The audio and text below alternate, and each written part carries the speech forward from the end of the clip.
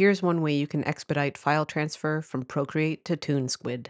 I have a long-standing relationship with my brushes in Procreate, which I continue to explore and develop a personal style with. And while one of the many things about ToonSquid I love is its vector capability, as of now I can't faithfully dupe my favorite look in ToonSquid for the lack of the taper feature. However, Procreate Transparency Option HEVC has problems with my editing software, while the ProRes on ToonSquid is a seamless export. So here we go.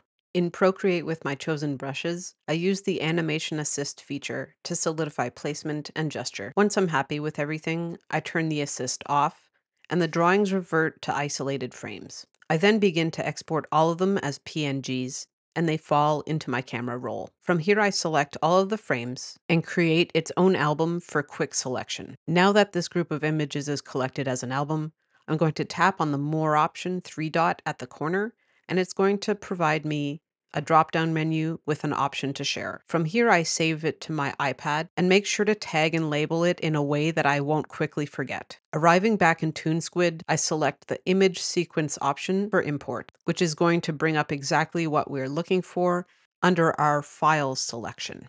Select all, and then they appear in ToonSquid in the order and overlay that you set it up with. Remove the default background and travel to export options. Here my standard is set, so I change MP4 to MOV, which is going to then provide me the ability to include transparency and switch the codec to the under ProRes format. Hit export and save to wherever is best. I usually airdrop and then bring it into the file tree that it would be nested under on my computer.